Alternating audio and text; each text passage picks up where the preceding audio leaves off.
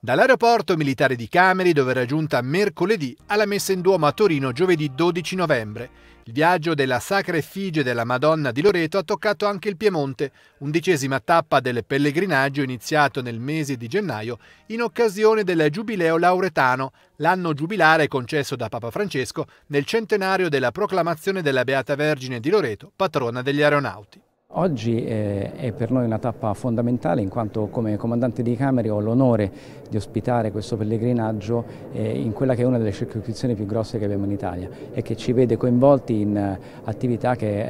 spaziano dal territorio del Piemonte, parte della Lombardia, la Valle d'Osta e la Liguria. il centenario è un evento fondamentale perché ci consente con questa attività itinerante di toccare tutte le parti della nostra nazione per poter condividere dei momenti importanti di preghiera, raccoglimento, ma per ricordarci soprattutto dell'importanza della protezione. Alla messa, celebrata da Monsignor Gabriele Mana, vescovo emerito di Biella, insieme alle autorità militari ha partecipato anche una delegazione del Consiglio regionale del Piemonte, guidata dal presidente Stefano Allasia. A nome dell'Assemblea ha siglato il registro del pellegrinaggio ottenuto dall'aeronautica, confermando le relazioni che storicamente legano le due istituzioni, ricordate anche durante il convegno formativo per le scuole, trasmesso sulla pagina Facebook del Consiglio e dedicato alle prospettive future del settore aeronautico in Piemonte un momento di preghiera in un momento di difficoltà della nostra comunità, grazie davvero all'aeronautica, al colonnello Mastroberti insieme al presidente Allasia e a Monsignor Nosiglia per aver permesso di ospitare